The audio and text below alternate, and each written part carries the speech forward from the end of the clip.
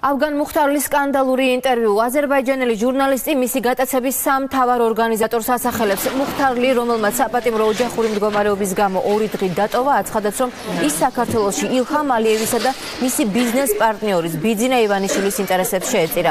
ჟურნალისტი სწორედ ალიევის ბიზნესების შესახებ ცდილობდა ქვეყანაში ინფორმაციის მოპოვებას. მუხტარლი ამბობს რომ ის კრიმინალური პოლიციის ფორმაში ჩაცმულმა ქართველმა სამართალდამცველებმა დააკავეს. მისი გატაცების ბრძანება კი პირადად ზოგადად პრემიერ-მინისტრმა გიორგი კვირიკაშვილმა გასცა. დავით კაკულია მუშაობს თემაზე. დავით რა განცხადება გააკეთა დამატებით მუხთარლიმ თავის საქმესთან დაკავშირებით?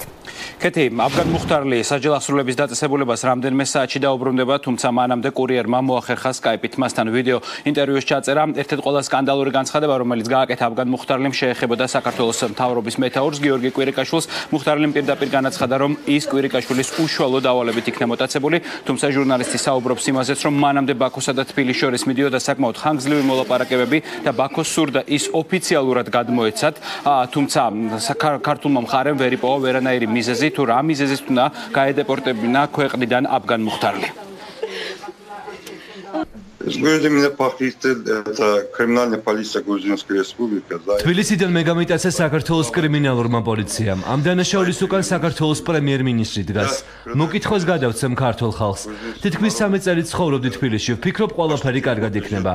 ქართველი ხალხი აღარ მოითმენს კვირიკაშვილის მთავრობას. მან მისცა უფლება, რომ მე გავეტაცებინე. მას რომ ამის ნებართვა არ გაეცა, არ მომიტაცებდნენ.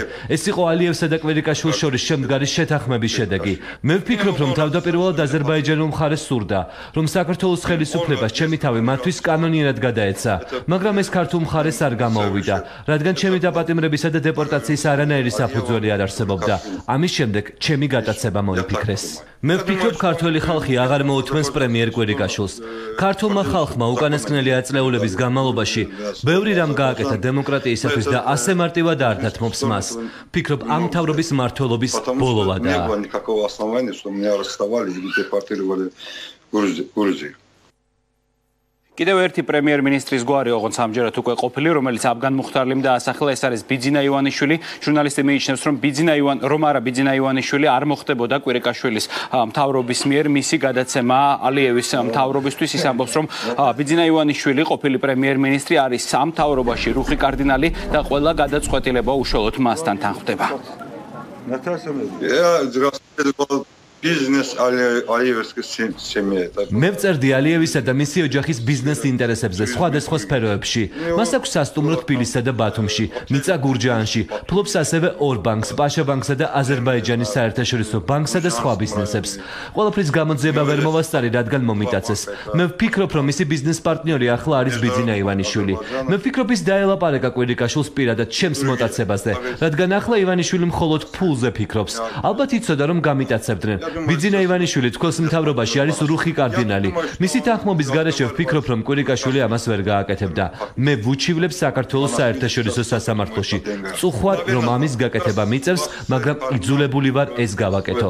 ივანაშვილი, без его согласия ასევე გადაცებულმა აზერბაიჯანულმა ჟურნალისტმა ჩვენთან საუბრისას დეტალურად გაიხსენა თუ როგორ მოხდა 2017 წლის 28 მაისს მისი გადაცება თბილისიდან საქართველოს დედაქალაქიდან კერძოდ კი ნიაღურის ქუჩიდან იმ ადგილიდან სადაც ის ცხოვრობს ის ამბობს რომ მას დახვდა რამდენიმე ადამიანი რომელსაც ეცვათ საქართველოს კრიმინალური პოლიციის უნიფორმები შეეცადნენ მის ჩატენვას მანქანაში მან გაუწია წინააღმდეგო თუმცა მას შემდეგ რაც დააფიქსირა რომ ეს ადამიანები იყვნენ კრიმინალური პოლიციიდან აფგან მუხტარლი ამბობს რომ ის საკუთარი ნებით ჩაჯდა მანქანაში. ამის შემდეგ მას დაუწყეს ძალოვნებმა ცემა. ჩამოაცვეს თავზე ტომარა და წაიყვანეს აზერბაიჯანის საზღვართან Пакшене было около моего дома, это улица გადაცემა მოხდა ჩემს სახლთან ნიაღურის ქუჩაზე. 4 კაცი იყო. კრიმინალური პოლიციის ფორმები ეცვათ.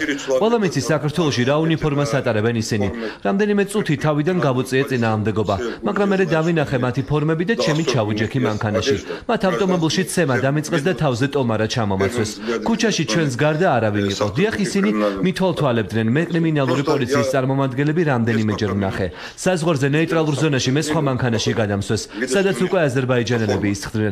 მათ შორის აზერბაიჯანის საზღვრის დაცვის უფროსის თანაშემწე ვიცე-პოლკოვნიკი ასკეროვი. აზერბაიჯანელი ჟურნალისტი ავგან მუხტარლი საქართველოსში, კერძოდ კი საქართველოს დედაქალაქ თბილისში 3 წლის განმავლობაში ცხოვრობდა, ის ამზადებდა სტატიებს აზერბაიჯანის პრეზიდენტის ალიევის და მისი ოჯახის ბიზნესების შესახებ და ის 2017 წლის 28 მაისს გაიტაცეს. ის ახლა აზერბაიჯანში იმყოფება, საჯელ ახსრულების დაწესებულებაში მას რამდენიმე საათი შეიყვანენ და მის წინააღმდეგ იქ უკვე რამდენიმე თვეა სასამართლო პროცესები მიმდინარეობს.